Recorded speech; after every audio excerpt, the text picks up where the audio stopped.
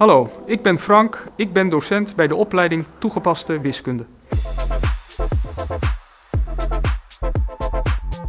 Binnen de studie Mathematical Engineering uh, is wiskunde een belangrijke component. Mathematical Engineering heeft als focus data science en bij data science komt nou eenmaal veel wiskunde en statistiek en ook kansberekening kijken.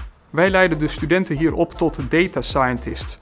Data ligt natuurlijk opgeslagen in databases en wij leren jullie hoe je een database moet bevragen. Ik leer je de programmeertaal SQL waarmee je de database bevraagt. Leuk dat je interesse hebt voor deze opleiding. Ik nodig je dan ook van harte uit om een keer een proefles bij te wonen.